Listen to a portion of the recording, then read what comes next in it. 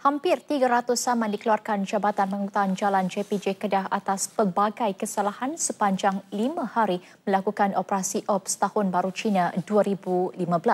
Daripada 4,121 kenderaan yang diperiksa, 398 daripadanya dikenakan tindakan. Bahagian penguatkuasa JPJ Kedah, Syarul Azhar Mat Dali berkata saman tersebut dikeluarkan terhadap pengguna motosikal, kereta dan pelbagai kesalahan lain seperti tiada lesen memandu, nombor pendaftaran yang ekstrim serta penggunaan lampu tampahan atau spotlight. Jadi pada tahun ini kalau masa perayaan yang lalu kita buat sekatan jalan raya, dua sekatan jalan raya sebelum dan dua sekatan jalan raya selepas mana okas motosikal pada tahun ini kita kurangkan lagi, kita minimalkan lagi. Eh?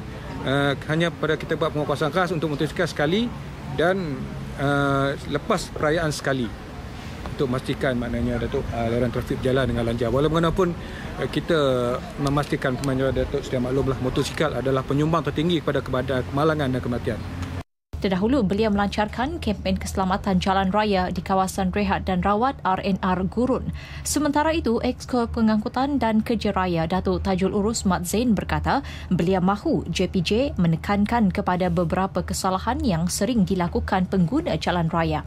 Antara kesalahan tersebut, gagal mematuhi lampu isyarat, memandu di lorong kecemasan, memotong garisan berkembar, memotong barisan, menggunakan telefon bimbit, tidak memakai tali pinggang keledar serta tidak memakai topi keledar. Ini yang kita kadang-kadang kita tak faham pemandu kita. Tidak bertolak ansur. Kemudian uh, tiba-tiba naik uh, berang panai apabila ada orang uh, memotong ke ataupun you know so nak kena kejar balik dan uh, yang lebih kecewa lagi ialah kadang-kadang uh, generasi muda ni menganggap menunggang motosikal itu uh, uh, di, di jalan raya sebagai tempat medan perlumbaan.